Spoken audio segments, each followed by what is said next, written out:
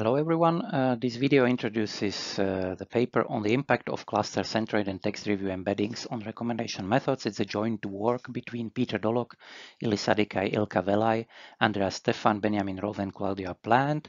We are from Aalborg University and University of Vienna.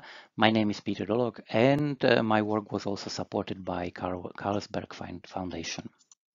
The core idea of the recommendation system is to identify user preferences, and based on these preferences to recommend items which suit the uh, preferences the most or recommend list of items which are ordered according to uh, such preferences. This is usually done so uh, that uh, users and items are mapped to a common vector space, which is formed by uh, embedding vectors. The embedding vectors are uh, usually identified or learn from similar user rating behavior.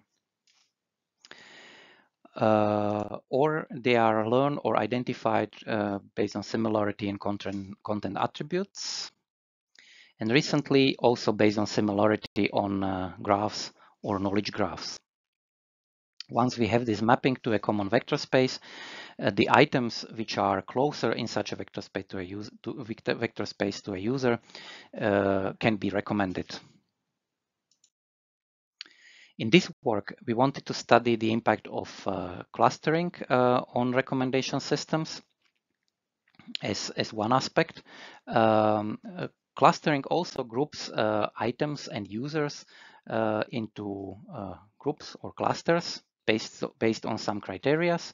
And we wanted to see how this additional grouping could impact uh, uh, the recommendation systems. Um, similarly, as a second aspect, we wanted to study the impact of review text.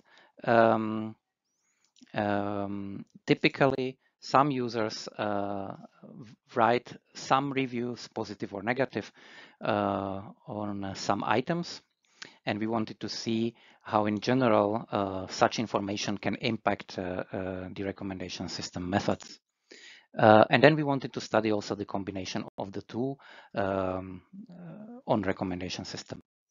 We wanted to see the impact of clustering and review text embedding in general. Therefore, we have selected uh, uh, representative methods such as LightGCN and BPR-MF and KGCL and some others. We have identified that uh, both uh, clustering and review text embedded, uh, embedding have a positive uh, impact. If you would like to know more, of course, we are happy to answer your questions either in our paper session at the Web Conference, conference 2024 or by answering your emails.